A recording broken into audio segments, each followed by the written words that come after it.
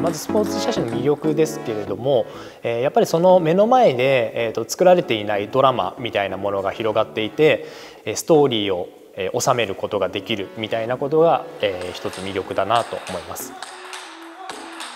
やっぱりまずあのその僕は、まあ、一眼レフしか使ってこなかったっていうのもありやっぱりボディを触った瞬間に軽いななんならこのこの中に何が入っているの大丈夫なのかぐらいの軽さでちょっとびっくりしました。こんな軽いのかというところがありましたね。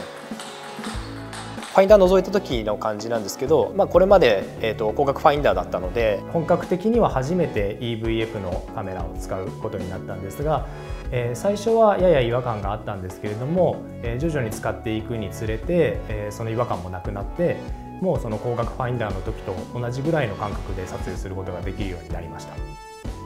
今回卓球の撮影だったのでその中で顔検出 AF を使ったんですけど卓球だとあの1人の選手が基本的にその片方のコートにはいるだけなのでそういう場合にその顔検出を使うと、まあ、要するに絵作りの方で、え集中してできるのでそういう時に活用できるなと思いました。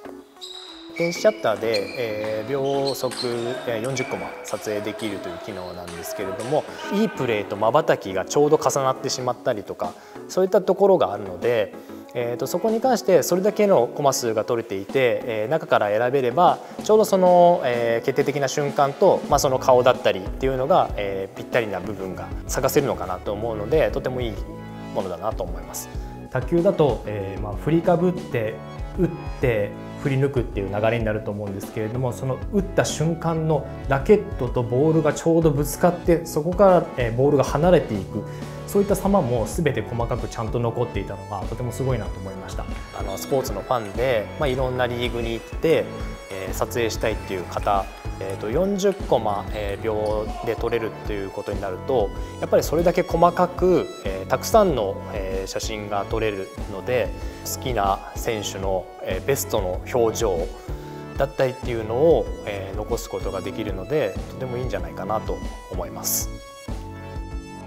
やっぱそれの種目種目で全然撮り方変わってくると思うんですけど、え、ある程度予想して撮ってますね。なんだろうなその選手によってやっぱり喜び方が違ったりとかその人のパーソナリティをなんとなく、まあ、別に全然会話するわけではないんですけどその試合の中でなんとなく想像してどういう動きするかな何をその選手だとどういう姿がかっこいいのかなっていうのをちょっと自分の中で想像して撮るっていうところはあります。